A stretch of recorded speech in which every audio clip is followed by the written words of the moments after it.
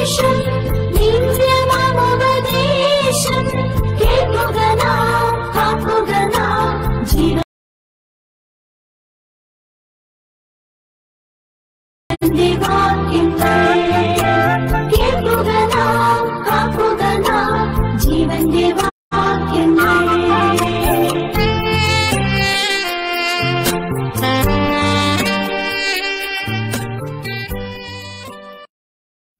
പിതാവിനും പുത്രനും പരിശുദ്ധ റോഹായ്ക്ക് സ്തുതി. ആദ്യം മുതൽ തന്റെ കരുണയും മനോണവും രണ്ട് ലോകങ്ങളിലും ചൊരിയപ്പെടുമാറാകട്ടെ. ഇത്രയും ബഹുമാനപ്പെട്ട എബിൻ ഉമേലിൽ അച്ഛൻ ഇത്രയും പ്രിയ ശമാശൻ കർത്താവായ ശംശിഹായാൽ സ്നേഹിക്കപ്പെട്ടിരിക്കുന്ന സഹോദരി സഹോദരങ്ങളെ കുഞ്ഞുങ്ങളെ.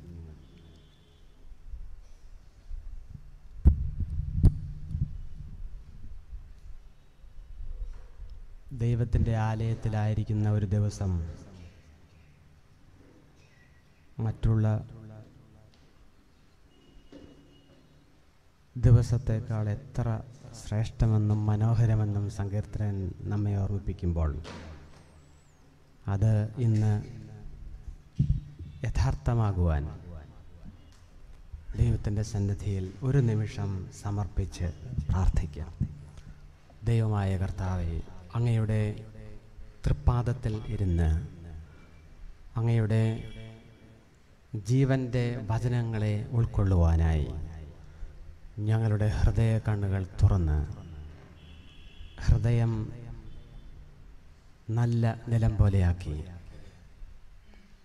അവിടുത്തെ പദ്ധതി പ്രകാരം പരിശുദ്ധാത്മാവിന്റെ ഫലങ്ങൾ പുറപ്പെടുവിക്കുന്ന വ്യക്തിത്വങ്ങളായി കുടുംബങ്ങളായി സഭയായി സമൂഹമായി രൂപാന്തരപ്പെടുവാൻ തക്കവിധം ഞങ്ങളോട് കരുണ തോന്നണമേ. അതിന് തടസ്സം നിൽക്കുന്ന എല്ലാ തടസ്സങ്ങളെയും അവിടുന്ന് ബഹിഷ്കരിക്കുകയും അവിടുത്തെ പരിശുദ്ധ മാലാഖമാരെ ഞങ്ങൾക്ക് ചുറ്റും കാവലാക്കി നിർത്തുകയും പരിശുദ്ധമ്മയുടെയും പരിശുദ്ധന്മാരുടെയും ശുദ്ധിമതികളുടെയും പ്രത്യേകാൽ പരിശുദ്ധനായിരിക്കുന്ന കാവൽപിതാവ് മാർഗീയ വർഗീയ സഹതായുടെയും മധ്യസ്ഥത ഞങ്ങൾ യാചിക്കുന്നു. അവിടുത്തെ ജീവന്റെ വചനം മാൻപേടകളെ പ്രസവിക്കുമാറാക്കുന്ന വചനം അവിടുത്തെ സ്നേഹം ഞങ്ങളിൽ പുതുക്കണമേ. അങ്ങയുടെ വചനം കൃപയായി ഞങ്ങളിൽ അവിടെ നിക്ഷേപിക്കണമേ. ഞങ്ങളെ ഓരോരുത്തരെയും തിരുവൻപാകെ സമർപ്പിക്കുന്നു. സമർപ്പണക്കുറവിനെ അവിടുന്ന് പരിഹരിച്ച് ഞങ്ങളെ അവിടെ ഏറ്റെടുക്കണമേ. സർവതും തിരുനാമത്തിൽ തന്നെ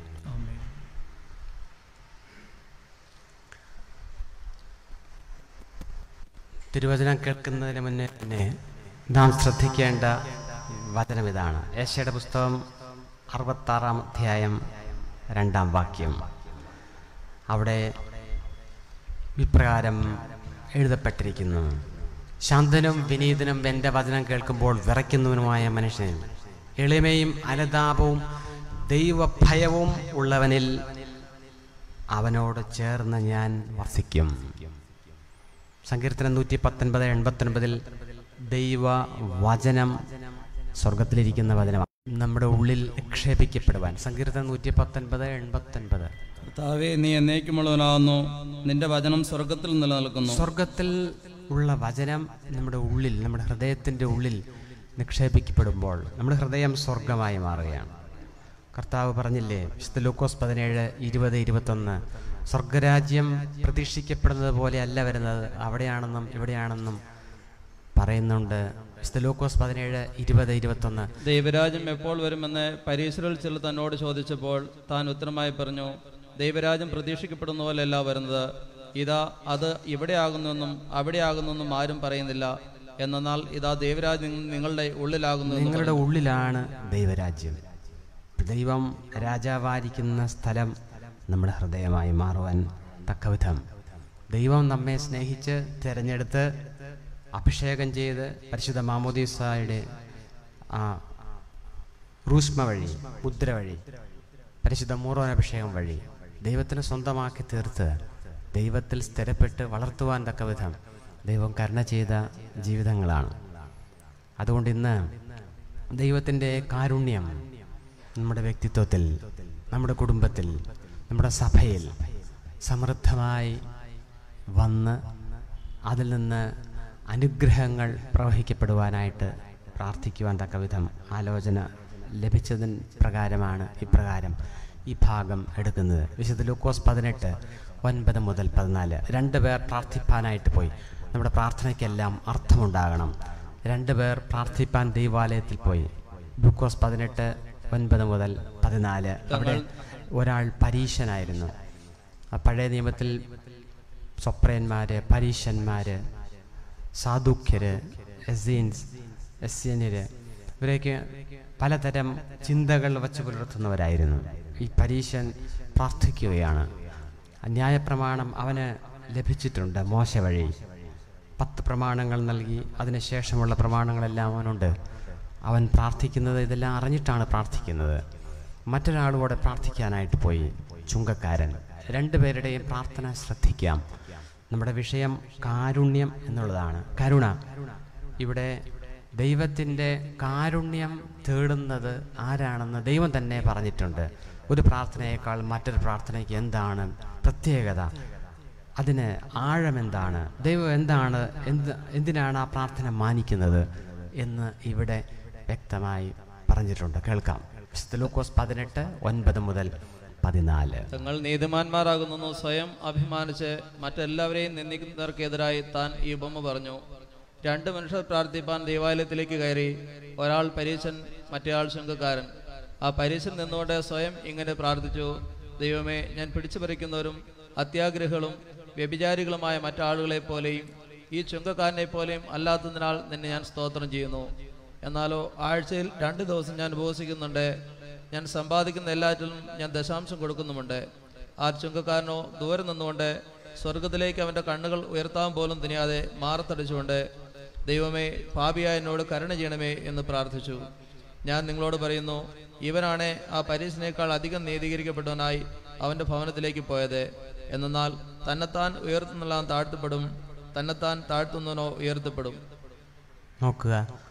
ഇവിടെ രണ്ട് പേരുടെ പ്രാർത്ഥന നാം കണ്ടു കഴിഞ്ഞു. രണ്ടുപേരും പ്രാർത്ഥിച്ചു. പ്രാർത്ഥനയ്ക്ക് ഉത്തരം ലഭിച്ചോ ഇല്ലയോ എന്നുള്ളത് അവരവരുടെ ജീവിതങ്ങളിൽ കാണാൻ സാധിക്കും. പരീശന്റെ പ്രാർത്ഥന പാപം എന്തെന്ന് അവനറിയാമോ അവൻ പഠിച്ചു വെച്ചതനുസരിച്ച്. അതുകൊണ്ട് എനിക്ക് പാപമില്ല അവൻ പറയുന്നു. ചെയ്യേണ്ട കാര്യം അവൻ അറിയാം. ആഴ്ചയിൽ രണ്ട് പ്രാവശ്യം ഉപവസിക്കുന്നുണ്ട് ദശാംശവും കൊടുക്കുന്നുണ്ട്. കടവും അവനില്ല. ചെയ്യേണ്ട കാര്യം ചെയ്യാതിരിക്കുന്നത് കടമാണ്. ചെയ്യരുതാത്തത് ചെയ്യുന്നത് പാപമാണ്. ഞങ്ങളുടെ കടക്കാരോട് ഞങ്ങൾ ക്ഷമിച്ചതുപോലെ ഞങ്ങളുടെ കടങ്ങളും പാപങ്ങളും ഞങ്ങളോട് ക്ഷമിക്കണമേ. ഇവിടെ പരീശൻ പറയുന്നത് എനിക്ക് പാപവുമില്ല കടവുമില്ല. മറ്റൊരു കാര്യം കൂടെ അവൻ പറയുന്നത് ഈ നിൽക്കുന്ന ചുങ്കക്കാരനെ പോലെ അല്ല ഞാൻ. ഞാൻ കുറച്ചും കൂടെ നല്ല കാര്യങ്ങളൊക്കെ അറിഞ്ഞ് അതിന് പ്രകാരം ജീവിക്കാൻ ആഗ്രഹിക്കുന്ന ഒരാളാണ്. ചുങ്കക്കാരൻ എന്താ പ്രാർത്ഥിച്ചത്? ദൈവമേ പാപിയായ എന്നോട് കരുണ ചെയ്യണം. കുറിയലൈസൊന്ന് സുറിയാനി പറയും. ദൈവമേ പാപിയായ എന്നോട് കരുണ ചെയ്യണം. പാപബോധത്തോടുകൂടെ ദൈവത്തിന്റെ കാരുണ്യം തേടിയാൽ അവിടെ അവൻ പരീക്ഷനേക്കാൾ നീതീകരിക്കപ്പെട്ടവനായി മടങ്ങി എന്ന തിരുവചനം യാഥാർത്ഥ്യമാകും. പരിശുദ്ധനായിരിക്കുന്ന പത്രോസ്ലിയ വിശുദ്ധ ലൂക്കോസ് അഞ്ച് എട്ടിൽ എന്താ പറഞ്ഞത്? അവിടെ മീൻ വലിയ മുക്കുവനാണ്. അദ്ദേഹം അവിടെ കർത്താവ് പറഞ്ഞു നീ വലത്ത് ഭാഗത്തേക്ക് നോക്കി വലയിറക്കുക എന്ന് പറഞ്ഞു. നിന്റെ വാക്കിനെ പ്രതി വലയിറക്കാം. അവിടെയെങ്ങും ഒന്നും കാണാൻ സാധ്യതയില്ല. വിശുദ്ധ ലൂക്കോസ് അഞ്ച് എന്താണ് അവിടെ പറയുന്നത്? വലിയ പെരുത്ത മീൻകൂട്ടം കിട്ടിയപ്പോൾ ശമോൻ പറയുകയാണ് എന്താ പറയുന്നത്? ശമോൻ കീപ്പ അത് കേട്ടപ്പോൾ കണ്ടപ്പോൾ അവൻ യേശുവിന്റെ കാൽക്കൽ വീണ് എന്റെ കർത്താവ്. അവൻ യേശുവിന്റെ കാൽക്കൽ വീണ് എന്റെ കർത്താവ് എന്റെ കർത്താവേ ഞാൻ പാപിയായ മനുഷ്യനാകയാൽ ഞാൻ പാപിയായ മനുഷ്യനാകയാൽ എന്നെ വിട്ടുപോകണമേ എന്ന് അപേക്ഷിച്ചു. ചിലരുടെ സ്വഭാവം എങ്ങനെയാണ്? ദൈവം അങ്ങ് പരിശുദ്ധനാണ് അങ്ങ് സകലതും അറിയുന്നവനാണ്. ഞാൻ പാപിയാണ് ഞാൻ അതിന് യോഗ്യതയില്ലാത്ത ഒരാളാണ്. ഞാൻ എന്നെ വിട്ടുപോകണമേ. ശംഭുവൻ പ്രാർത്ഥിച്ചതാണ്. കണ്ടോ? എന്നാൽ ശംഭുവിനെ കർത്താവ് ഉപേക്ഷിച്ചോ? ഇല്ല. ആരാ നമ്മെ തിരഞ്ഞെടുത്തത്? നമ്മൾ കർത്താവിനെ തിരഞ്ഞെടുക്കുകയാണ് ചെയ്തത്? കർത്താവ് നമ്മെ തിരഞ്ഞെടുക്കുകയാണ് ചെയ്തത്? അപ്പോൾ നമ്മൾ വേണ്ടെന്ന് പറഞ്ഞാലും കർത്താവ് നമ്മെ ഉപേക്ഷിക്കുമോ എങ്ങനെയാ നമ്മുടെ മനോഭാവം? സ്ത്യോഹനാൻ പതിനഞ്ച് പതിനാറിൽ നിങ്ങളല്ല എന്നെ തിരഞ്ഞെടുത്തത്? ഞാനാണ്. നിങ്ങളെ തെരഞ്ഞെടുത്തത്. നിങ്ങൾ എന്നെ തിരഞ്ഞെടുക്കുകയില്ല ഞാനാകുന്നു നിങ്ങളെ ഞാനാണ് നിങ്ങളെ തെരഞ്ഞെടുത്തത്. റോമാലേഖന എട്ട് മുപ്പതിൽ മുൻകൂട്ടി മുദ്രയിട്ടവരെ വിളിച്ചു വിളിച്ചവരെ നീതീകരിച്ചു നീതീകരിച്ചവരെ മഹത്വപ്പെടുത്തി. മുൻകൂട്ടി മുദ്രയിട്ടവരെ വിളിച്ചു. വിളിച്ചവരെ നീതീകരിച്ചു. നീതീകരിച്ചവരെ മഹിമപ്പെടുത്തി. അതുകൊണ്ട് നാം എന്ത് പറയേണ്ടത്? ദൈവം നമുക്ക് അനുകൂലമെങ്കിൽ പ്രതികൂലം ദൈവം നമുക്ക് അനുകൂലമെങ്കിൽ പ്രതികൂലമാര് അതുകൊണ്ട് ഇവിടെ പരിശുദ്ധനായിരിക്കുന്ന പത്രോസ്ലിയ പറയുന്നു ഞാൻ പാപിയായ ഒരു മനുഷ്യനാകിയാൽ എന്നെ വിട്ടുപോകണമേ. പരിശുദ്ധനായിരിക്കുന്ന പൗലോസ്ലിഹ എന്താ പറഞ്ഞത്? ഒന്ന് തീമോത്തിയോസ് ഒന്നിൽ പതിനഞ്ചും പതിനാറും വാക്യത്തിൽ ഒന്ന് തീമോത്തിയോസ് ഒന്നാം അധ്യായം പതിനഞ്ചും പതിനാറും വാക്യത്തിൽ സ്ലിഹന്മാർ എന്താ പറഞ്ഞത്? ഞങ്ങൾ വലിയ പാപികളാണെന്നാണ് പറഞ്ഞത്. വായിക്കും. യേശുമിശിക പാപികളെ രക്ഷിപ്പാനായി ലോകത്തിലേക്ക് വന്നു എന്നുള്ള വചനം വിശ്വാസിയും അംഗീകാരയോഗ്യമാകുന്നു അതെ. ആ പാപികളിൽ ഞാൻ ഒന്നാമനാകുന്നു. പരിശുദ്ധനായിരിക്കുന്ന പോലോസ് ഞാൻ പാപികളിൽ ഞാൻ ഒന്നാമനാണ്.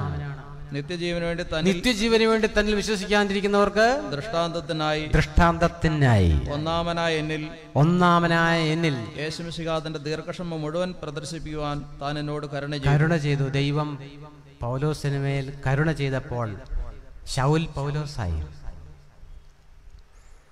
നമ്മുടെ ജീവിതത്തിലും ദൈവകാരുണ്യം നാം തേടിയാൽ ജീവിതം മാറാൻ തുടങ്ങും.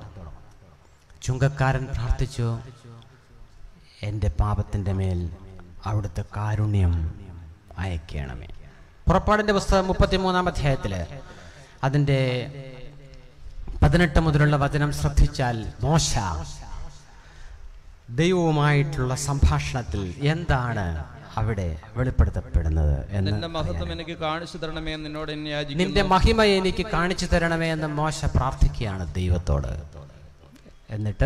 അവൻ ഉത്തരം പറഞ്ഞു എന്റെ എല്ലാ ഭംഗിയും നിന്റെ മുമ്പിൽ ഞാൻ കടന്നു പോകുമാറാക്കും അതെ. എന്റെ നാമം നിന്റെ മുമ്പിൽ ഞാൻ പ്രഖ്യാപിക്കും. അതെ. എനിക്ക് കൃപ കാണിപ്പാൻ മനസ്സാകുന്നതോട് ഞാൻ കൃപ കാണിക്കും. അതെ. ദയ കാണിപ്പാൻ എനിക്ക് മനസ്സാകുന്നതോട് ഞാൻ ദയ കാണിക്കും. അതെ എനിക്ക് ഇഷ്ടമുള്ളവനോട് ഞാൻ കരുണ കാണിക്കും.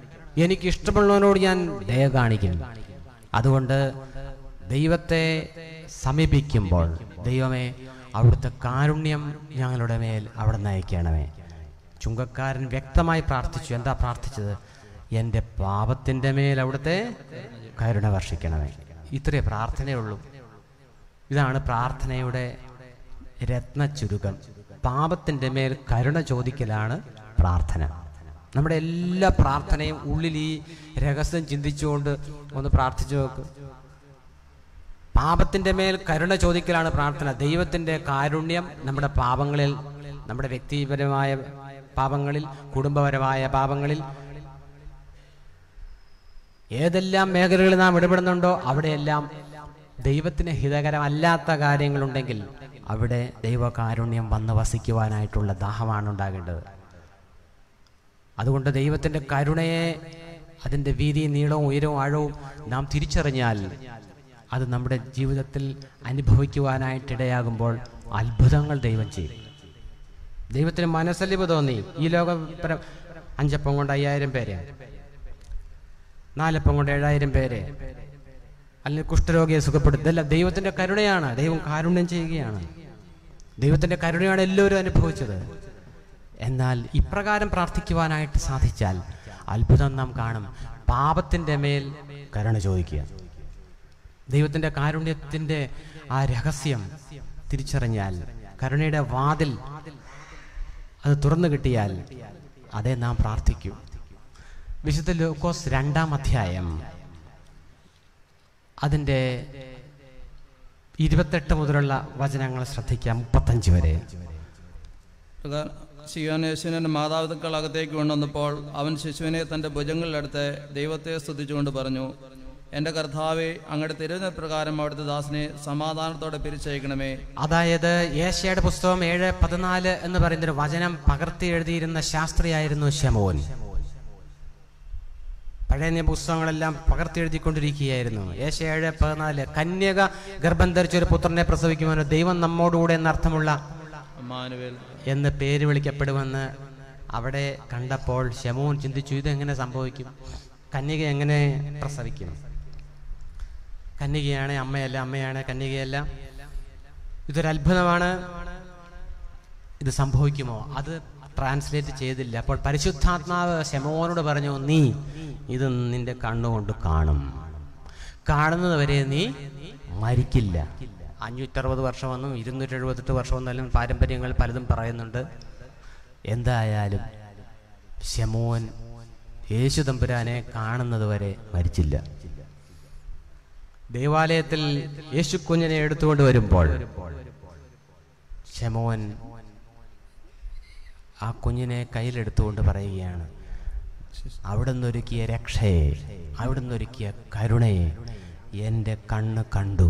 എന്നെ സമാധാനത്തോടെ തിരിച്ചയക്കുകയാണ് അതാണ് വിശുദ്ധ ലൂക്കോസ് രണ്ട് മുപ്പത്. അപ്പോൾ നോക്കുക ദൈവത്തിന്റെ കാരുണ്യത്തെ ദൈവത്തിന്റെ രക്ഷയെ ദൈവത്തിന്റെ കൃപയെ കാണുവാനായിട്ടുള്ള ഭാഗ്യം ശമോനുണ്ടായി. നമുക്കും നമ്മുടെ ജീവിതം മുഴുവനും നമ്മുടെ കർത്താവിനെ കാണുവാനും നമ്മുടെ കർത്താവിന്റെ മഹത്വം കാണുവാനും നമ്മുടെ കർത്താവിന്റെ രഹസ്യങ്ങൾ അറിയുവാനും നമ്മുടെ ഹൃദയം ദൈവം തുറന്നു തന്നിട്ടുണ്ട്. അത് കാണുവാൻ സാധിക്കുന്നുണ്ടോ എന്നുള്ളതാണ്. അതുകൊണ്ട് ഇന്ന് ഏതെല്ലാം പാപബന്ധനങ്ങളിൽ നാം ആയിട്ടുണ്ടോ? വചനലംഘനമാണ് പാപം എന്ന് പറയുന്നത്. ദൈവത്തിന് രക്ഷിക്കാനായിട്ട് കഴിവ് കുറവുണ്ടോ? കേൾക്കാൻ ചെവി മന്ദി ഭവിച്ചിട്ടുണ്ടോ? ഇല്ല. ഏഷ്യ അൻപത്തൊൻപത് ഒന്നും രണ്ടും. ഏഷ്യയുടെ പുസ്തകം അൻപത്തൊൻപത് ഒന്നും രണ്ടും. വിളിച്ചിട്ടൊന്നും കേൾക്കുന്നില്ലെന്നാണ് പലരും പറയുന്നത്. രക്ഷിപ്പാൻ കഴിയാത്ത വിധം കർത്താവിന്റെ കരം കുറുകിപ്പോയിട്ടില്ല. കേൾക്കാനാകാത്ത വിധം അവിടുത്തെ കാതുകൾക്ക് മാന്യം സംഭവിച്ചിട്ടുമില്ല. നിന്നെയും നിന്റെ ദൈവത്തെയും തമ്മിൽ ഭിന്നിപ്പിച്ചിരിക്കുന്നത് നിന്റെ പാപങ്ങളാണ്. പാപത്തിന്റെ മേൽ കരുണ കിട്ടിയാൽ കാരുണ്യം കിട്ടിയാൽ അർഹതയില്ലാത്ത ഒന്നാണ് കരുണ എന്ന് പറയുന്നത്. ദൈവ യജമാനന് ഇഷ്ടമുണ്ടെങ്കിൽ തരാം. റോമാലേഖനം ഒൻപതാം അധ്യായം പതിനഞ്ചും പതിനാറും. റോമാലേഖനം ഒൻപതാം അധ്യായം പതിനഞ്ചും. എനിക്ക് ഇഷ്ടമുള്ളവനോട് ഞാൻ കരുണ കാണിക്കും. എനിക്ക് ഇഷ്ടമുള്ളവനോട് ഞാൻ ദയ കാണിക്കും. ദൈവത്തിന്റെ കാരുണ്യം നമുക്ക് ലഭിച്ചാൽ നമ്മുടെ ജീവിതം മാറും. ദൈവമേ അങ്ങ് എന്നിൽ കരുണയായിരിക്കണമേ. ഞങ്ങളുടെ സഭയോട് കരുണയായിരിക്കണമേ. അതിന് വലിയ അർത്ഥമുണ്ട് ഇപ്പം ഈ കാലഘട്ടത്തിൽ സഭയോട് വിശ്വാസം നിലനിർത്തുന്നതിനായിട്ട്. നമ്മുടെ വ്യക്തിത്വത്തോട് കരുണയായിരിക്കണമേ. നമ്മുടെ കുടുംബങ്ങളോട് കരുണയായിരിക്കണമേ. ദൈവത്തിന്റെ കാരുണ്യം അത്ര ശക്തമാണ്. ആ കാരുണ്യം പ്രാപിക്കുവാനായിട്ട് സാധിച്ചാൽ അവിടെ മാറ്റങ്ങളുണ്ടാകും. പ്രിയപ്പെട്ട സഹോദരൻ പാട്ട് പാടിയപ്പോൾ ഒരു ഭാഗം പറഞ്ഞു യേശയ പ്രവാചകൻ. അതിന്റെ ആറാം അധ്യായം അതിന്റെ മൂന്ന് മുതലുള്ള വചനം ശ്രദ്ധിച്ചാൽ നമുക്ക് കാണാൻ സാധിക്കും. അവിടെ ഏശയ പറഞ്ഞു ഞാൻ അശുദ്ധനായൊരു മനുഷ്യൻ. അശുദ്ധമായ അധരങ്ങളുള്ള മനുഷ്യരുടെ ഇടയിൽ പാർക്കുന്നവൻ. എന്റെ നാവ് ശരിയല്ല. ഞാൻ അശുദ്ധമായ അധരങ്ങളുള്ള ഒരാളാണ്. അധരങ്ങളുള്ള ജനത്തിന്റെ മധ്യയെ പാർക്കുന്ന ഒരാളാണ്. അപ്പോൾ ദൈവത്തിന്റെ കരുണ ലഭിച്ചാൽ ദൈവത്തെ മഹത്വപ്പെടുത്തുന്നത് ഈ നാവ് കൊണ്ട് സഹോദരനെ പിന്നെ കുറ്റം പറയാൻ പറ്റുമോ? ഇല്ല. നാവ് ശുദ്ധീകരിക്കപ്പെടുകയാണ്. യേശയുടെ പുസ്തകം ആറാം അധ്യായം മൂന്ന് മുതൽ വായിക്കുക. അവർ പരസ്പരം ഇങ്ങനെ ആർത്ത് വിളിച്ചു തന്റെ മഹത്വം കൊണ്ട് സർവഭൂമിയും നിറഞ്ഞിരിക്കുന്ന ബലവാനായ ദൈവം തമ്പുരാൻ പരിശുദ്ധൻ പരിശുദ്ധൻ പരിശുദ്ധൻ. നാം പിതാവും കർത്താവുമായവനെ നമ്മുടെ നാവ് കൊണ്ട് സ്തുതിക്കുന്നു. കൗമ തുടങ്ങുന്നത് അങ്ങനെയാണ്. തുടങ്ങുന്നു. സ്തുതിക്കുന്നു. അവരുടെ അട്ടകാസ ശബ്ദത്താൽ വാതിലിന്റെ കട്ടിളപ്പിടികൾ ഇളകിപ്പോയി. ആലയം പുക കൊണ്ട് നിറഞ്ഞു. അപ്പോൾ ഞാൻ പറഞ്ഞു എനിക്ക് കഷ്ടം. ഞാൻ പരവശനായിരിക്കുന്നു. എന്നാൽ ഞാൻ അശുദ്ധ മനുഷ്യൻ. അശുദ്ധ ആദരങ്ങളുള്ള ജനമധ്യയെ ഞാൻ വസിക്കുന്നു. ബലവാനായ ദൈവമായ രാജാവിനെ എന്റെ കണ്ണുകൾ കണ്ടല്ലോ എന്ന് ഞാൻ പറഞ്ഞു. അതെ. ആ സ്രൊപ്പന്മാരിൽ ഒരുവൻ എന്റെ അടുക്കലേക്ക് പറഞ്ഞു വന്ന് അയാൾ ബലിപീഠത്തിൽ നിന്ന് തന്റെ കയ്യിലെ കൊടിൽ കൊണ്ട് ഒരു തീക്കനൽ എടുത്ത് അതിന്റെ വായിൽ തൊടുവെച്ച് എന്നോട്. ഇത് നിന്റെ അകൃത്യം നീക്കുവാനും നിന്റെ അകൃത്യം നീക്കുവാനും. എന്താ അകൃത്യം? പാവങ്ങളുടെ കൂമ്പാരമാണ് അകൃത്യം. നിന്റെ അകൃത്യം നീക്കുവാനായിട്ട് ഞാൻ ഇതിനെ നിന്റെ നാവിൽ തൊടുവിച്ചിരിക്കുന്നു എന്ന് പറയുന്നു. നിന്റെ പാപങ്ങൾക്ക് പരിഹാരത്തിനുമായി നിന്റെ പാപങ്ങൾക്ക് പരിഹാരത്തിനുമായി നിന്റെ ആധരങ്ങളെ സ്പർശിച്ചിരിക്കുന്നു. നിന്റെ ആധരങ്ങളെ സ്പർശിച്ചിരിക്കുന്നു. അതുകൊണ്ട് നാവിന് കൺട്രോൾ വേണം ഇനി. ദാവീദ് പാപം ചെയ്തതിനു ശേഷം അനുതാപത്തോടുകൂടെ ദൈവത്തോട് പ്രാർത്ഥിക്കുമ്പോൾ പ്രാർത്ഥിക്കുന്ന ഒരു സങ്കീർത്തനം നമുക്കെല്ലാം കാണാപ്പാടമാണ് സങ്കീർത്തനം അൻപത്തൊന്ന് ഒന്ന്. ദൈവമേ നിന്റെ കൃപയിൻ പ്രകാരം. നിന്റെ കരുണയുടെ ബഹുത്വത്തിൻ പ്രകാരം. പാപങ്ങൾ ഇതല്ലേ പ്രാർത്ഥിക്കുന്നു? അപ്പൊ ദൈവത്തിന്റെ കാരുണ്യം അത് കൃപയായി ജീവിതത്തിൽ അനുഭവിക്കുവാൻ സാധിച്ചാൽ അവിടെ മഹത്വമാണ് ദൈവീക സാന്നിധ്യമാണ്. നമ്മെ സംബന്ധിച്ചിടത്തോളം എറമിയ പ്രവാചകന്റെ പുസ്തകത്തിലും ഇത് തന്നെ കാണുവാനായിട്ട് സാധിക്കും. എറമിയുടെ പുസ്തകം ഒന്നാം അധ്യായം അതിന്റെ അഞ്ച് മുതലുള്ള വചനം വായിക്കാം. അഞ്ച് മുതൽ പത്ത് വരെ. ജെറമിയ ഏറമിയ ഒന്ന് അഞ്ച് മുതൽ പത്ത് വരെയുള്ള വചനത്തിൽ. എന്താണ് പറയുന്നത്? ഞാൻ നിന്നെ ഉദരം മുതൽ വിളിച്ചു.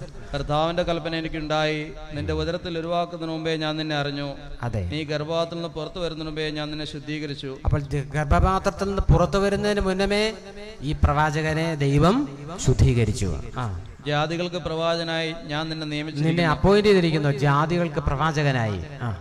അപ്പോൾ ഞാൻ കർത്താവെ ഞാൻ ബാലനാണല്ലോ. എനിക്ക് സംസാരിപ്പാൻ അറിഞ്ഞുകൂടല്ലോ എന്ന് പറഞ്ഞു. അതെ. കർത്താവ് എന്നോട് ഞാനൊരു ബാലൻ എന്ന് നീ പറയരുത്. ഞാൻ നിന്നെ അയക്കുന്നിടത്തെല്ലാം നീ പോകണം. ഞാൻ നിന്നോട് കൽപ്പിക്കുന്നതെല്ലാം സംസാരിക്കുകയും വേണം. നീ അവരെ ഭയപ്പെടരുത്. നിന്നെ സംരക്ഷിക്കുന്നതിന് ഞാൻ നിന്നോട് കൂടെയുണ്ട് എന്ന് കൽപ്പിച്ചു. കർത്താവ് കൈനീട്ടി എന്റെ വായെ സ്പർശിച്ചു. കർത്താവ് കൈനീട്ടി എന്റെ വായെ സ്പർശിച്ചു. ഞാൻ എന്റെ വചനങ്ങളെ നിന്റെ വായിൽ തന്നിരിക്കുന്നു. എന്റെ വചനങ്ങളെ നിന്റെ വായിൽ തന്നു. നിനക്ക് സംസാരിക്കാനായിട്ട് വചനങ്ങൾ സംസാരിക്കാനായിട്ട്. വചനം സംസാരിക്കുന്ന വായാണോ നമ്മുടെ വായ്?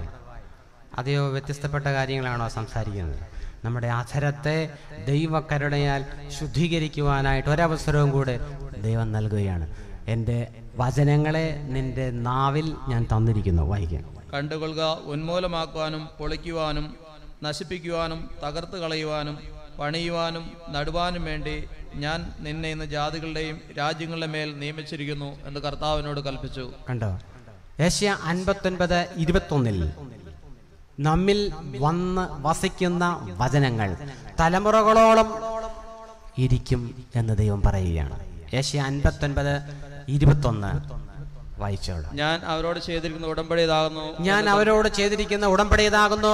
എന്ന് കർത്താവ് അരളി ചെയ്യുന്നു. അതെ. നിന്റെ മേലുള്ള എന്റെ ആത്മാവും നിന്റെ മേലുള്ള എന്റെ ആത്മാവും നിന്റെ വായിൽ ഞാൻ തന്ന എന്റെ വചനങ്ങളും നിന്റെ വായിൽ ഞാൻ തന്ന എന്റെ വചനങ്ങളും നിന്റെ വായിൽ നിന്നും നിന്റെ വായിൽ നിന്നും നിന്റെ സന്തതിയുടെ വായിൽ നിന്നും നിന്റെ സന്തതിയുടെ വായിൽ നിന്നും നിന്റെ സന്തതിയുടെ സന്തതിയുടെ വായിൽ നിന്നും നിന്റെ സന്തതിയുടെ സന്തതിയുടെ വായിൽ നിന്നും ഇന്ന് മുതൽ ഒരു നാളും വിട്ടുപോകുകയില്ല ഒരു നാളും വിട്ടുപോകുകയില്ലെന്ന് എന്ന് കർത്താവരോട് ചെയ്യുന്നു. നോക്കുക. അപ്പോൾ നാം ദൈവത്തിൽ നിന്ന് പ്രാർത്ഥിച്ച് കരുണ പ്രാപിച്ച് ദൈവവചനം സംഗ്രഹിച്ചാൽ തലമുറകളോളം ലഭിക്കും.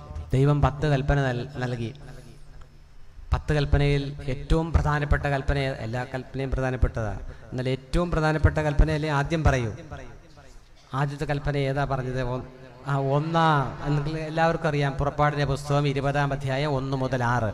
അതിലൊരു കാര്യം പറയുന്ന ഉണ്ട്. നീ വചനം ലംഘിച്ചാൽ നീ ഈ കൽപ്പന പാലിച്ചില്ലെങ്കിൽ എന്താ ദൈവം പറഞ്ഞത്? മൂന്നും നാലും തലമുറ വരെ ശിക്ഷിക്കും. അത് മാത്രമേ ആൾക്കാർ പറയാറുള്ളൂ. പക്ഷെ ഈ വചനം പാലിച്ചാൽ എത്ര തലമുറയാ? ഒന്നുകൂടെ പറഞ്ഞ്. ആയിരം തലമുറ നിന്നോട് ഞാൻ കരുണ കാണിക്കും. അപ്പൊ ദൈവം എന്ത് കരുണയാ ചെയ്യുന്നത്? ദൈവത്തിന്റെ കൽപ്പന പാലിച്ചാൽ ആയിരം തലമുറ കാത്തോളാന്നാണ്. ദൈവകാരുണ്യത്തിന്റെ ആഴം അതാണ്. ദൈവത്തെ സ്നേഹിക്കുന്ന ഒരു വ്യക്തിയാണെങ്കിൽ ദൈവത്തിന്റെ കൽപ്പന പാലിക്കും. വിശുദ്ധ യോഹനാൻ പതിനാല് പതിനഞ്ച്. എന്റെ വചനം പാലിക്കുന്നവനാണ് എന്നെ സ്നേഹിക്കുന്നത്. നിങ്ങൾ എന്നെ സ്നേഹിക്കുന്നുണ്ടെങ്കിൽ എന്റെ കൽപ്പനകൾ പാലിക്കുക. കൽപ്പനകൾ അന്വേഷിക്കണം. അത് പാലിക്കണം അറിഞ്ഞു പാലിക്കണം സ്നേഹത്തോടെ പാലിക്കണം. യോഹനാൻ പതിനാല് ഇരുപത്തൊന്നിലും. എന്റെ കൽപ്പനകൾ ആചരിക്കുന്ന ആരാണോ അവനാണ് എന്നെ സ്നേഹിക്കുന്നത്. കണ്ടോ? വീണ്ടും പറയുന്നുണ്ട് പതിനാലാം അധ്യായം ഇരുപത്തിമൂന്നാം വാക്യം. അവിടെ ഞാനും എന്റെ പിതാവും വന്ന് അവനിൽ വസിക്കുമെന്നാ പറയുന്നത്. എന്നെ സ്നേഹിക്കുന്നവൻ എന്റെ വചനം പാലിക്കും. എന്റെ പിതാവ് അവനെ സ്നേഹിക്കും. അവന്റെ അടുക്കൽ ഞങ്ങൾ വരും. ഞങ്ങൾ വരും. അവനോടുകൂടെ വസിക്കുകയും ചെയ്യും. അവനോടുകൂടെ പാർക്കും. ഇതിലും കൂടുതൽ എന്തെങ്കിലും വേണോ? അപ്പൊ ദൈവ കരുണ കിട്ടിയാൽ കൃപ കിട്ടും. കൃപ കിട്ടിയാൽ നമ്മുടെ ഹൃദയം തുറക്കപ്പെട്ടു. ദൈവ രഹസ്യങ്ങൾ അറിയുവാനായിട്ട് ഇടയാകുന്നു. ദൈവവചനം സംഗ്രഹിക്കാൻ തുടങ്ങുന്നു. ദൈവവചനം പാലിക്കുവാനായിട്ട് സാധിക്കുന്നു. ദൈവകരുണ ദൈവ കരുണ കിട്ടിയ ഒരു മനുഷ്യനെ സംബന്ധിച്ചിടത്തോളം അവന്റെ ജീവിതം ദൈവം അനുഗ്രഹിച്ചുയർത്തും തലമുറകളായി. ഇങ്ങനെ നമുക്ക് അനുഭവമുണ്ടോ? ഇന്നും നാം പ്രാർത്ഥിക്കുന്നത് പരീശം പ്രാർത്ഥിക്കുന്ന പോലെയാണോ? ദൈവമേ ഞാൻ അത് ചെയ്യുന്നുണ്ട് ഇത് ചെയ്യുന്നില്ല.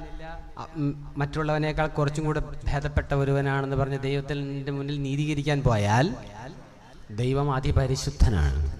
ദൈവത്തിന്റെ മുന്നിൽ ഹബക്കുക്ക് ഒന്ന് പതിമൂന്നിലും വെളിപാട് ഒന്ന് പതിനാലിലും അഗ്നിജ്വാലയ്ക്കൊത്ത് കണ്ണുള്ളവന്റെ മുന്നിലാണ്. വിശുദ്ധ ലൂക്കോസ് പന്ത്രണ്ട് രണ്ടിൽ സകല രഹസ്യങ്ങളും പരസ്യമാക്കപ്പെടുന്ന ഒരുവന്റെ മുന്നിലാണ് നാം പ്രാർത്ഥിക്കാൻ ചെല്ലുന്നത്. അവിടെ ദൈവത്തെ പറഞ്ഞു പഠിപ്പിക്കുന്ന അല്ല കരുണയാണ് ചോദിക്കേണ്ടത് വായിച്ചോ? കർത്താവെ തൃക്കണ്ണുകൾ നിർമ്മലവും തിന്മ നോക്കാത്തവയുമാകുന്നു അധർമ്മികളെ നോക്കുവാൻ മനസ്സ് വയ്ക്കാത്തവനെ ഹബക്കുക് ഒന്ന് പതിമൂന്ന് വെളിപാട് ഒന്ന് പതിനാല് ലൂക്കോസ് പന്ത്രണ്ട് രണ്ട്. അപ്പോൾ നോക്കണം നമ്മുടെ രഹസ്യങ്ങളെല്ലാം ദൈവത്തിനറിയാം. നമ്മെ അതുപോലെ തന്നെ ദൈവം സ്നേഹിക്കുകയാണ്. കുറവുകളോടുകൂടെ. എന്നാൽ ഒരു കാര്യം രണ്ടു തരം പാപികളെ ലോകത്തിൽ കാണാം. അനുദപിക്കുന്ന പാപിയും അനുദപിക്കാത്ത പാപിയും. എല്ലാ അനുദപിക്കാത്ത പാപങ്ങളും ഒന്നിച്ചിരുന്ന് പ്രാർത്ഥിച്ച ദൈവം കേൾക്കുമോ ഏ? ഇരുപത്തഞ്ച് ലക്ഷം അനുദപിക്കാതെ ഇരുന്ന് പ്രാർത്ഥിച്ച ദൈവം കേൾക്കുമോ ഇല്ല. അതാണ് യോഹന്നാൻ ഒൻപത് മുപ്പത്തൊന്ന്. യോഹന്നാൻ ഒൻപത് മുപ്പത്തൊന്നും മുപ്പത്തിരണ്ടും വാക്യങ്ങളിൽ പറയുന്നത് ദൈവം പാപികളുടെ ശബ്ദം കേൾക്കുന്നില്ലെന്നും തന്നെ ഭയപ്പെട്ട് തന്റെ ഇഷ്ടം ചെയ്യുന്നതിനെയാണ് ചെയ്യുന്നവനെയാണ് കേൾക്കുന്നതെന്നും നമുക്കറിയാം. നമുക്കറിയാം. അതുകൊണ്ട് അനുദപിക്കുന്നവരും അനുദപിക്കാത്തവരും ഉണ്ട്. വിശുദ്ധ മത്തായി ഇരുപത്തി ആറ് എഴുപത്തി അഞ്ചിൽ മൂന്ന് പ്രാവശ്യം പത്രോസ്ലിയ തള്ളി പറഞ്ഞു. വിശുദ്ധ ലൂക്കോസ് ഇരുപത്തിരണ്ട് അറുപത്തൊന്നും അറുപത്തിരണ്ടും വാക്യങ്ങളിൽ യേശു പത്രോസിനെ നോക്കി. നോട്ടത്തിൽ ഒരു കൃപയുണ്ടായിരുന്നു. ഞാൻ നിന്നോട് പറഞ്ഞില്ലയോ? യേശു പത്രോസിനെ നോക്കി. അവൻ പുറത്തുപോയി. ഹൃദയം നൊന്ത് കരഞ്ഞു. യേശു തിരിഞ്ഞ കീപ്പായ സൂക്ഷിച്ചു നോക്കി. യേശു തിരിഞ്ഞ് കീപ്പായെ സൂക്ഷിച്ചു നോക്കി. കോഴി കൂവുന്നതിന് മുമ്പേ നീ മൂന്ന് പ്രാവശ്യം എന്നെ തള്ളിപ്പറയും എന്ന് നമ്മുടെ കർത്താവിനോട് പറഞ്ഞിരുന്ന വാചകം ശമോനൊത്തു ശമോൻ ഓർത്തു. ശമോൻ പുറത്തേക്ക് ഇറങ്ങിപ്പോയി. അതിവേദനയോടെ കരഞ്ഞു. അതിവേദനയോടെ കരഞ്ഞു. കണ്ടോ? ആ കരച്ചിൽ ദൈവം കേട്ടു. സ്ലീഹന്മാരുടെ തലവനാക്കി വീണ്ടും നിയോഗിക്കുകയാണ്. അനുതാപത്തിന്റെ കരുണ ചോദിക്കുന്ന മനോഭാവത്തിന്റെ ഫലം. അപ്പോൾ ദൈവത്തിൽ നിന്ന് നാം കാരുണ്യം ചോദിക്കണം. ദൈവമേ അങ്ങിൽ നിന്ന് സമൃദ്ധമായ കാരുണ്യം ഞങ്ങളിലേക്ക് അവിടെ നിന്ന് ഒഴുക്കണമേ ഇവിടെ ചുങ്കക്കാരന്റെ പ്രാർത്ഥന അതായിരുന്നു. അവൻ തൃപ്തിയുള്ളവനായി നീതീകരിക്കപ്പെട്ടവനായി അവന്റെ ഭവനത്തിലേക്ക് മടങ്ങിപ്പോയി എന്നാണ് ആ തിരുവചനത്തിൽ എഴുതിയിരിക്കുന്നത്. അതുകൊണ്ട് നമ്മെ സംബന്ധിച്ചിടത്തോളം നാം ഏതെല്ലാം മേഖലകളിൽ കരുണ ചോദിക്കാനായിട്ടാണ് ആഗ്രഹിക്കുന്നത്. ചിലർ വിചാരിക്കും ഇന്ന മേഖല വരെ ദൈവത്തിന്റെ കരുണ വന്നാൽ മതി. അതിനുശേഷം ഞങ്ങളൊക്കെ ജീവിക്കുവാണ്. നമ്മെ മൊത്തമായിട്ട് അങ്ങോട്ട് വിട്ടുകൊടുക്കുക. മുഴുവനായും സമർപ്പിക്കുക. സമർപ്പിക്കുവാൻ ദൈവത്തിന്റെ പരിശുദ്ധാത്മാവില്ലാതെ സമർപ്പിക്കാൻ പറ്റത്തില്ല. പരിശുദ്ധാത്മാവ് സമർപ്പണത്തിന്റെ ആത്മാവാണ്. സമർപ്പിക്കണമെങ്കിൽ റോമാലേഖനം എട്ട് ഇരുപത്തി ആറിൽ എങ്ങനെ പ്രാർത്ഥിക്കണമെന്ന് പോലും നമുക്കറിയില്ല. സമർപ്പിക്കാനും നമുക്കറിയില്ല. നമ്മുടെ ബുദ്ധിയും ശക്തിയും കേട്ട അറിവും ഒക്കെ വെച്ചാണ് നമ്മൾ പ്രാർത്ഥിക്കുന്നത്. സമർപ്പിക്കുന്നത്. ദൈവമേ അങ്ങയുടെ പരിശുദ്ധാത്മാവ് ഞങ്ങളിൽ വന്ന് ഞങ്ങളെ പ്രാർത്ഥിക്കാൻ പഠിപ്പിക്കണമേ. അങ്ങയുടെ പരിശുദ്ധാത്മാവ് ഞങ്ങളിൽ വന്ന് ഞങ്ങളെ സമർപ്പിക്കാൻ പഠിപ്പിക്കണമേ. ഞങ്ങളിൽ വിശ്വാസ കുറവുണ്ടെങ്കിൽ അത് പരിഹരിക്കണമേ. മർക്കോസ് ഒൻപത് ഇരുപത്തിമൂന്ന് ഇരുപത്തിനാല് വാക്യത്തിൽ ഒരു മനുഷ്യനോട് പറയുകയാണ് എന്റെ വിശ്വാസക്കുറവിനെ അവിടുന്ന് പരിഹരിക്കണമേ. എന്റെ മകനിൽ അശുദ്ധാത്മാവുണ്ട്. അങ്ങ് അവൻ അതിനെ പുറത്താക്കണം. എനിക്ക് വിശ്വാസക്കുറവുണ്ട്. അതിനെ കുറവ് പരിഹരിക്കണമേ. കണ്ടോ? അപ്പോൾ കുറവുകൾ പരിഹൃതമാകുവാൻ തക്കവിധം ദൈവത്തോട് അഭയാചന ചെയ്യുകയാണ്. മർക്കോസ് ഒൻപത് ഇരുപത്തിമൂന്ന് ഇരുപത്തിനാല്. യേശു അവനോട് നിനക്ക് വിശ്വസിപ്പാൻ കഴിയുമെങ്കിൽ വിശ്വസിക്കുന്നതിന്റെ സർവവും സാധ്യതമാകുമെന്ന് പറഞ്ഞു. ആ ബാലന്റെ പിതാവ് തൽക്ഷണം ഉച്ചത്തിൽ അട്ടക്കസിച്ചുകൊണ്ട് ഞാൻ വിശ്വസിക്കുന്നു വിശ്വാസക്കുറവല്ല എന്നെ സഹായിക്കണമേ എന്ന് കരഞ്ഞു പറഞ്ഞു. എന്റെ വിശ്വാസക്കുറവിനെ അവിടുന്ന് സഹായിക്കണമേ. അതുകൊണ്ടാണ് അതുകൊണ്ടാണ് സ്ത്രീയന്മാർ പ്രാർത്ഥിച്ചത് ലൂക്കോസ് പതിനേഴ് അഞ്ചു ആറും ഞങ്ങളുടെ വിശ്വാസം വർദ്ധിപ്പിച്ചു തരണമേ. ലൂക്കോസ് പതിനേഴ് അഞ്ചു ആറും. വിശ്വാസം വർദ്ധിപ്പിച്ചു. അപ്പോൾ കരുണ കിട്ടുന്നവർക്കെല്ലാം ഇങ്ങനെയാണ് ചോദിക്കുന്നത്. ഈ ലോകത്തിന്റെതായ കാര്യങ്ങൾ ചോദിച്ചാലെന്ന് എന്നേക്കും നിലനിൽക്കുകയില്ല. അതാണ് ഒന്ന് കൊരിന്തിർ പതിനഞ്ച് പത്തൊൻപതിൽ. ഒന്ന് കൊരിന്തിർ പതിനഞ്ച് പത്തൊൻപത് പ്രോസ്പെരിറ്റി ഗോസ്പൽ എന്ന് പറയും. അതായത് ഈ ലോകത്തിലെ കാര്യങ്ങളെല്ലാം ചോദിച്ച് കർത്താവിന്റെ അടുത്ത് ഇല്ല നാം മിശിഹായിൽ പ്രത്യാശ വെച്ചിരിക്കുന്നത് ഈ ജീവിതത്തിൽ ഈ ജീവിതത്തിൽ മാത്രമാണോ? നാം എല്ലാ മനുഷ്യരെക്കാളും നിർഭാഗ്യവാൻ മാത്രമേ മറ്റും എല്ലാ മനുഷ്യരെക്കാളും നമ്മൾ കർത്താവിനെ അറിഞ്ഞിട്ട് നിർഭാഗ്യവാന്മാരായി പോകുന്ന പരിശുദ്ധനായിരിക്കുന്ന പൗലോസ്ലിയ പറയുന്നത്. ദൈവത്തെ അറിഞ്ഞിട്ട് ഈ ലോകത്തിലെ അനേക കാര്യങ്ങൾ നമുക്ക് നിവർത്തിച്ചു കിട്ടാനുണ്ട്. അത് ഈ ലോകത്തിൽ തന്നെ തീരും. സ്ത്രീഹന്മാർ പ്രാർത്ഥിച്ചത് അങ്ങനെയാണ്. എങ്ങനെയാ നിത്യമാ ജീവിതത്തിന് വേണ്ടി പ്രാർത്ഥിച്ചത്? കരുണ ലഭിക്കണമേ വിശ്വാസം വർദ്ധിപ്പിക്കണമേ വിശ്വാസ ശക്തി നൽകണമേ ബലം നൽകണമേ കൃപ നൽകണമേ. വിശുദ്ധ കുർബാനയെ കുറിച്ച് വെളിപ്പെടുത്തി കൊടുത്തപ്പോൾ അവർ പറഞ്ഞു എന്റെ ശരീരം ഭക്ഷിക്കണം എന്റെ രക്തം പാനം ചെയ്യണമെന്ന് കർത്താവ് പറഞ്ഞപ്പോൾ അവർ പലരും പറഞ്ഞു എന്താ പറഞ്ഞത്? ഈ വചനം വളരെ എളുപ്പമാണെന്നാണ് പറഞ്ഞത്. കഠിനമാണ്. യോഹനാൻ ആറ് അറുപത്. യോഹന്നാൻ ആറ് അറുപത് ഈ വചനം കഠിനമാണ്. തന്റെ ശിഷ്യന്മാരിൽ തന്നെ അനേകർ ഇത് കേട്ടിട്ട് ഇത് കഠിനമായ വാക്ക് ഇത് കേൾപ്പാൻ ഇത് കേൾക്കാൻ ആർക്ക് കഴിയും ഇവന്റെ ശരീരം ഭക്ഷിക്കണമെന്നോ ഇവന്റെ രക്തം പാനം ചെയ്യണമെന്നോ അപ്പോൾ വചനം കഠിനമാണെന്ന് പറഞ്ഞ് അനേകർ പോയി. യോഹന്നാൻ ആറ് അറുപത്തി ആറിൽ ഈ കർത്താവിന്റെ മുന്നിൽ നിന്ന് ഇറങ്ങിപ്പോയവര്. പക്ഷെ കർത്താവ് മാറ്റ മാറ്റിയോ? വചനം മാറ്റിയോ? അറുപത്തേഴ് തൊട്ട് അറുപത്തൊൻപത്. യോഹന്നാൻ ആറിൽ അറുപത്തേഴ് മുതൽ അറുപത്തൊൻപത്. നിങ്ങളും പോകാൻ ആഗ്രഹിക്കുന്നോ എന്ന് സ്ത്രീകന്മാരോട് ചോദിച്ചു. അവർ എങ്ങോട്ടാ പോകാൻ? അവരെല്ലാം വിട്ടിട്ട് പോകുന്ന പിതാവിനെയും പള്ളവും വലയും എല്ലാം കൂടെ വിട്ടിട്ട് പോകുന്നതാണ്. അപ്പൊ അവരോട് കർത്താവ് ചോദിച്ചു എന്താ ചോദിച്ചത്? നിങ്ങളും പോകാൻ ആഗ്രഹിക്കുന്നു. അപ്പൊ പ- പത്രോസ്ലിയ എന്താ പറഞ്ഞത്? ശമോങ്കിപ്പ അതിനോട് എന്റെ കർത്താവ് ഞങ്ങൾ ആരുടെ അടുക്കൽ പോകണം? ഞങ്ങൾ ആരുടെ അടുക്കൽ പോകണം? അവിടത്തേക്ക് നിത്യജീവന്റെ വചനങ്ങൾ ഉണ്ടല്ലോ. അതാണ് ആ കണ്ടുപിടിച്ചത്. എന്താണ്? അങ്ങേക്ക് നിത്യജീവന്റെ വചനം. വചനങ്ങളുണ്ടല്ലോ. ഇത് കരുണ കിട്ടി ദൈവ കൃപ കിട്ടി. ഈ കൃപ കൃപ എന്ന് പറയുന്നത് ദൈവവചനം മാംസമാകുന്നതാണ്. അത് കൃപാവചനമായി മാറുന്നതാണ്. ദൈവ കരുണ കിട്ടിയ ഒരുവന് അവന്റെ പാപം ക്ഷമിക്കപ്പെട്ട് അവന് വിശ്വാസം വർദ്ധിക്കാൻ തുടങ്ങും ദൈവത്തെ തേടാൻ തുടങ്ങും. അപ്പോൾ അവന് ദൈവം തന്റെ വചനം വെളിപ്പെടുത്തി കൊടുക്കും. അപ്പോൾ അത് കൃപയായി മാറും. കർത്താവിന്റെ വാക്കുകളെല്ലാം കൃപാവാക്കുകളായിരുന്നു. എന്താ ഈ കൃപാവചനം അല്ലാത്ത വചനം ലൂക്കോസ് നാല് ഇരുപത്തിരണ്ടിൽ. എല്ലാവരും തന്നെ സൂക്ഷിക്കുകയും എല്ലാവരും തന്നെ സൂക്ഷിക്കുകയും യേശുദാനെ സൂക്ഷിക്കുകയും തന്റെ വായിൽ നിന്ന് പുറപ്പെട്ടു കൊണ്ടിരുന്ന കൃപാവചനങ്ങളിൽ വിസ്മയിക്കുകയും ചെയ്തു. കൃപാവചനങ്ങളിൽ വിസ്മയിച്ചു പോവുകയും ചെയ്തു. എന്താ കൃപാവചനം? നമ്മുടെ പാപത്തെ മാറ്റുന്ന നമ്മുടെ ക്ഷീണത്തെ മാറ്റുന്ന നമ്മുടെ രോഗത്തെ നീക്കുന്ന നമ്മുടെ തളർച്ചയെ മാറ്റുന്ന നമ്മുടെ ബന്ധനങ്ങളെ അഴിക്കുന്ന ദൈവ വചന ശക്തിയാണ് കൃപാവചനം. നമ്മുടെ ഹൃദയത്തിലേക്ക് ദൈവം നൽകും. അപ്പൊ നമ്മുടെ ഹൃദയത്തിൽ ദൈവവചനം സംഗ്രഹിക്കാനായിട്ട് ഇനി അഭ്യസിക്കണം. വചനം സംഗ്രഹിക്കുന്ന ഒരു കൃപയുണ്ട്. അത് കരട് ദൈവത്തിന്റെ